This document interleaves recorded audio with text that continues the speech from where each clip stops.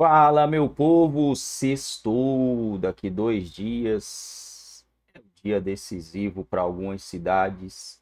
Cristina Grêmio, Grêmio, Grêmio, não sei como é que. Eu sei como ler, mas como é que se pronuncia. Quer dizer, eu sei como se pronuncia, mas não como é que se lê, né? Em São Paulo, Nunes, o Pablito tá mostrando um outro lado da moeda aí, estranhamente. Né? Aí gera dúvida na em algumas pessoas, se ele estivesse, na verdade, né? Aconteceu várias coisas. Aí tem o André Fernandes também, né? No Nordeste, rapaz, aonde o Barbudinho ganhou. Estranho, hein?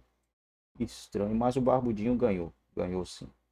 Ganhou porque a gente analisa aqui, né? As prefeituras, a gente vê que foi um pouco apertado, né? Então, o que mandou a vitória do Barbudinho foi o Nordeste.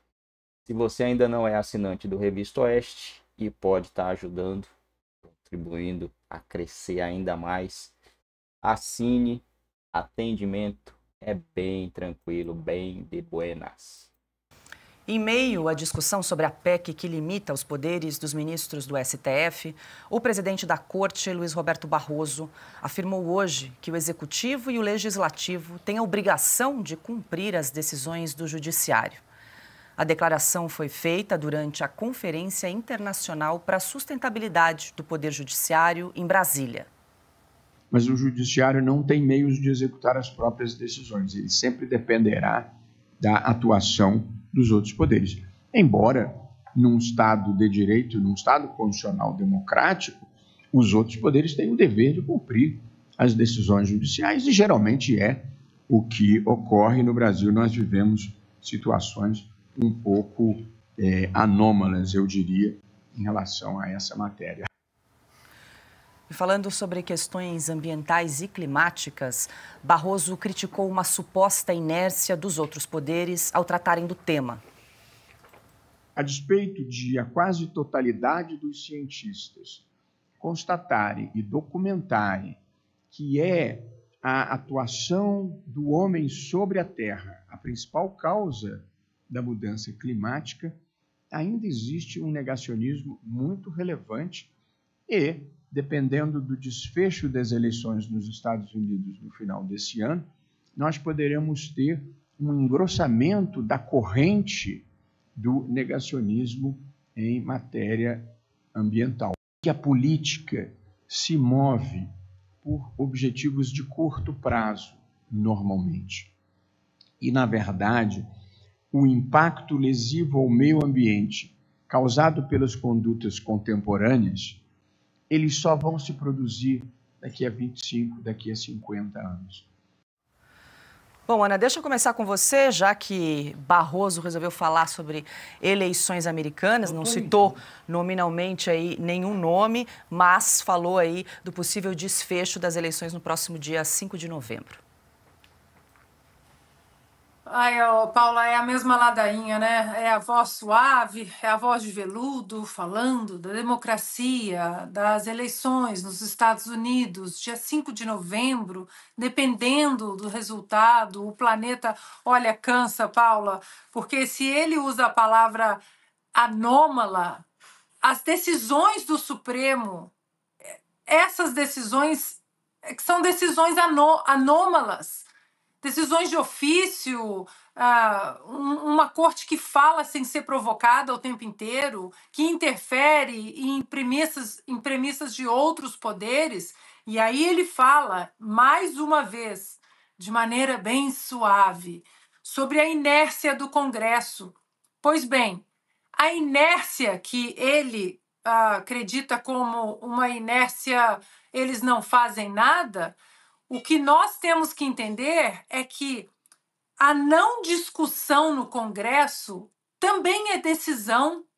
Não discutir certos assuntos também é decisão. O Congresso não discute certos assuntos porque a sociedade assim demanda. Não queremos discutir esses assuntos agora.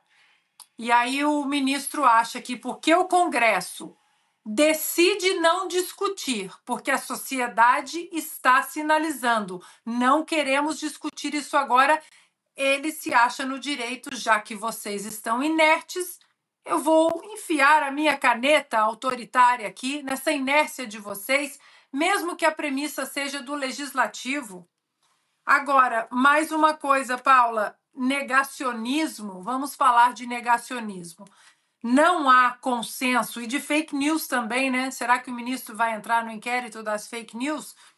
Não existe consenso entre os cientistas sobre a, a, a pauta é, global, sobre o clima, sobre o ambiente, sobre é, global warming, o aquecimento global nós entrevistamos recentemente, há poucas semanas, o professor Ricardo Felício, e ele explicou, vocês achem no YouTube, a espetacular entrevista que ele deu aqui para a gente, cheia de detalhes.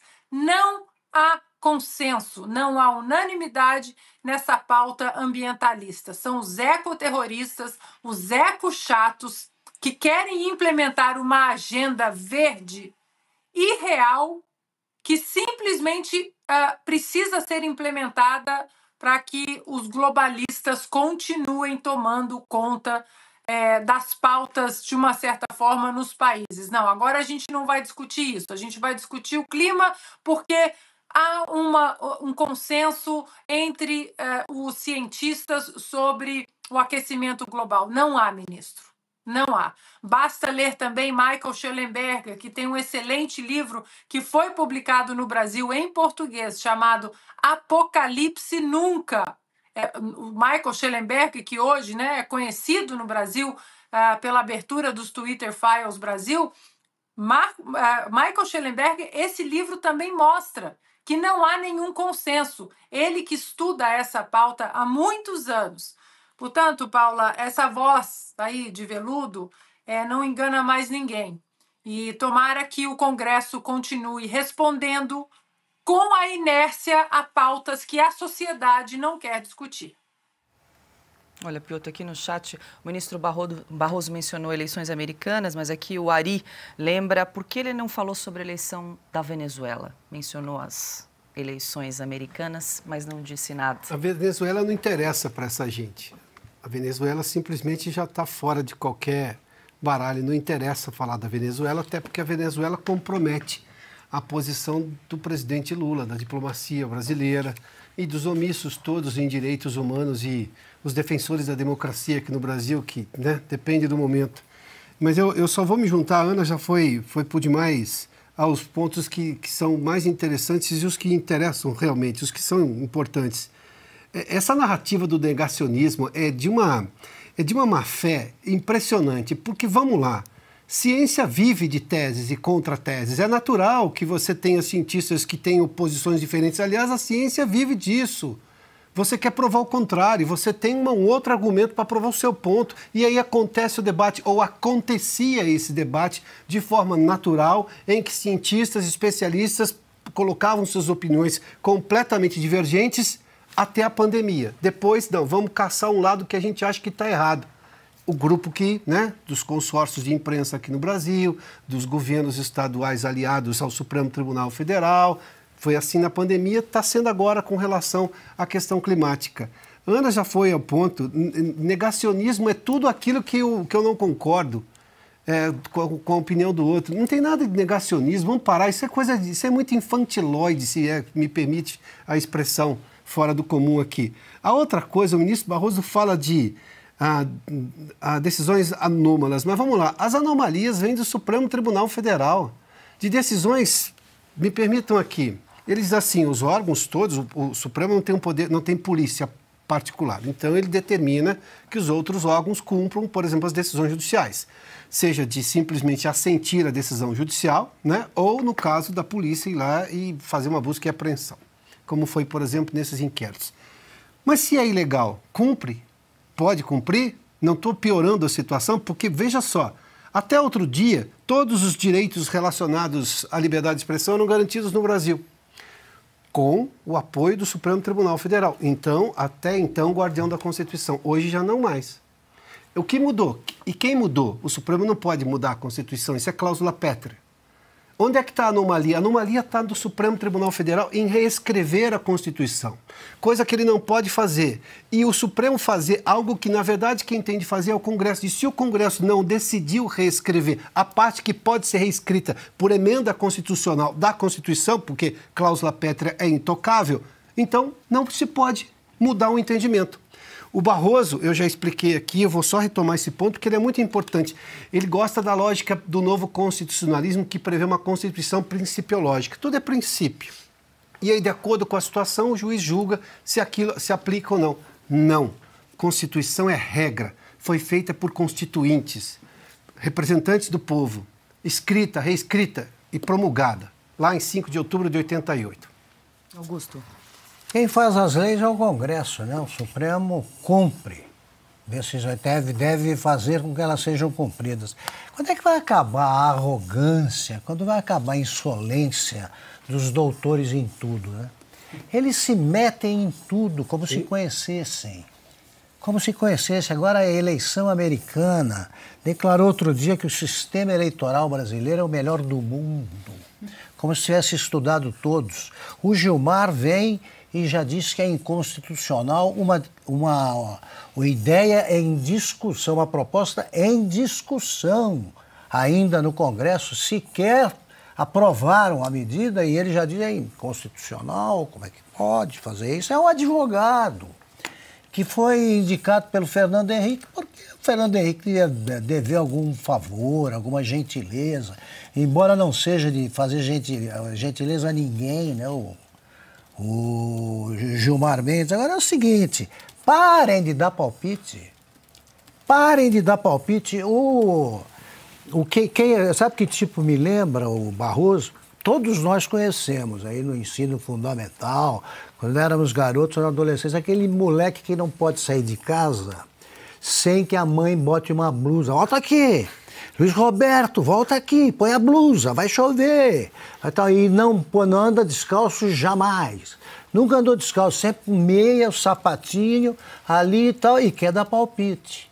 Pelo menos esses moleques, né, que a gente chamava de fifi mesmo, era isso aí. Eles não davam tanto palpite, esses aí não param de falar. Sim. Barroso não sei o quê, porque o melhor sistema do mundo, é, a eleição americana, para com isso, não tem, não tem fim os erros que ele já cometeu, não tem nenhuma modéstia. Devia ter vergonha, tanto do fala, perder o mané, quanto dessa linguagem empolada que usa, para não dizer nada. Para não dizer nada, não, porque a decisão do Supremo o Supremo fez isso, fez aquilo. O Supremo é formado por servidores públicos. São encarregados de fazer cumprir a Constituição. Só. Ponto. Não tiveram um voto para falar em nosso nome. E aceitaram no passado decisões absurdas dos dois poderes e ficaram bonzinhos ali, felizes com o emprego e agora querem governar o Brasil. Não tem voto para isso, não tem a nossa autorização e ponto final. Bom, agora 18 horas 29 minutos. Você que acompanha o Sim sabe que agora é hora de eu pedir um vídeo para você que está nos acompanhando, para mandar aqui para nossa produção. Use o seu celular. É isso aí, meu povo. Os caras estão assustados com o que pode acontecer lá nos Estados Unidos. Acho que eles estão confiantes de alguma maneira, acreditando em alguma reviravolta que hoje, né, o pessoal da direita tem medo dessas reviravoltas, dessas coisas que andam acontecendo, como aconteceu ali no Verde, né? Simplesmente o Verde fala que, olha, como nananana, declarou o Barbudinho campeão, mesmo nananana me declarou campeão aqui também e tá tudo certo, né? Aqui foi diferente, acredito eu. Eu não desacredito que o Barbudinho ganhou, tá, gente? Eu não desacredito, eu acredito, sério mesmo, né? Dá para acreditar. Você fica com uma duvidazinha lá longe, mas dá para acreditar que o Barbudinho ganhou. Dá. ainda dá, dá para acreditar, mas você fica, né? Pela pulguinha atrás da orelha. Mas o verde não, o verde lá tem as tais actas, né? Tem as tais actas que comprovam que não foi. Se aqui tivesse essas tais actas, poderia ter lançado, provado tudo. As pessoas não teriam feito o que fez no 8 de janeiro. Só aconteceu aquilo lá porque muita gente queria a transparência que não, segundo né, as pessoas que estavam lá, não teve. Se tivesse,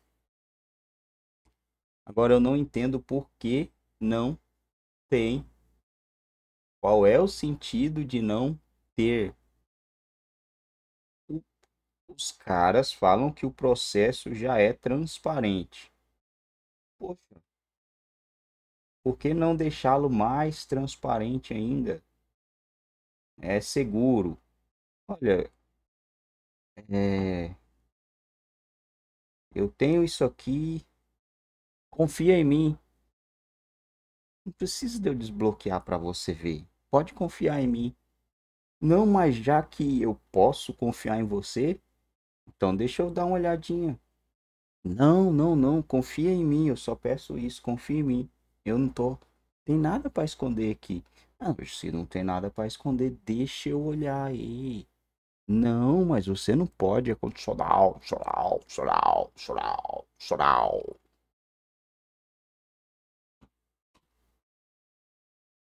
Transparente.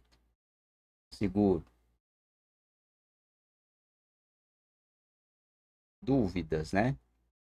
Gera dúvida, gente. Não tem como não gerar dúvida tudo que está querendo ser escondido gera curiosidade e dúvida.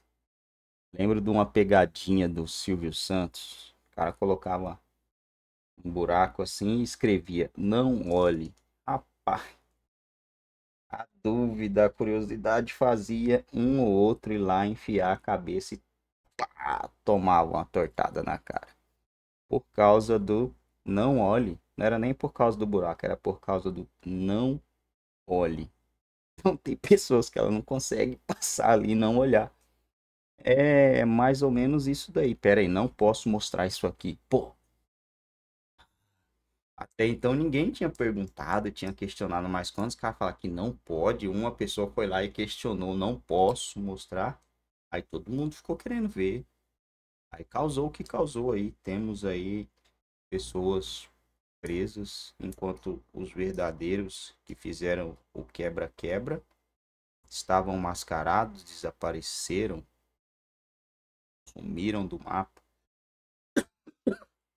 E os povo, o povo mais inocente, bobó cheira-cheira, para cair numa cilada dessa. E para fazer o que eles fizeram ali ainda, né? Teve alguns ainda ali que quebrou e tal. Mas 17 anos colocar golpe uma coisa dessa é, é meio que absurdo, né? Mas mas desse jeito aí é, é meio difícil de descer na garganta. Enquanto a gente vê, os caras foram prender ali não sei quantos quilos do pozinho lá. Aí os caras lá de Brasília falaram, não, isso é constitucional, constitucional, constitucional, não pode prender assim sem um mandato. Pô, peraí.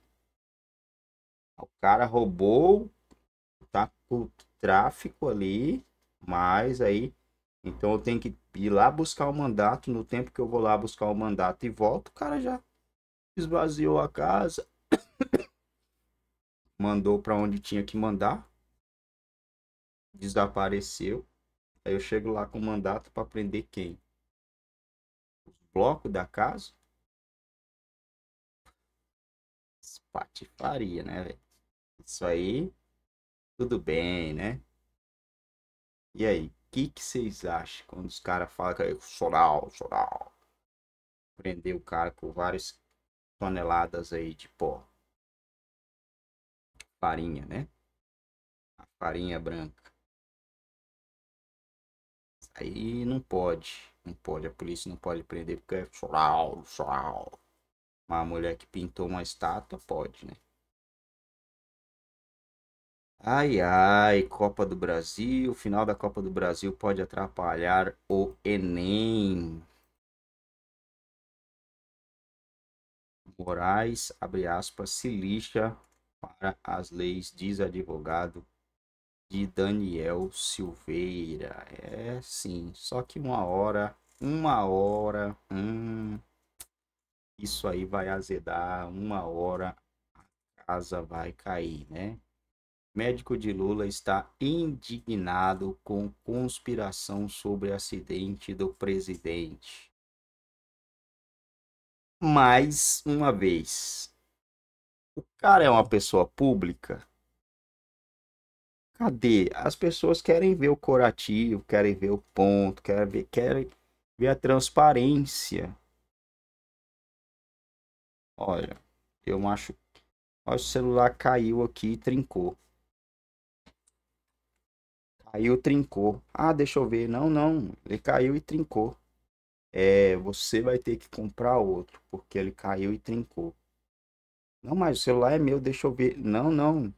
Estragado, tá estragado, não presta mais não. Vai ter que comprar outro. Ah. Fique indignado então, irmão. Você pode ficar indignado.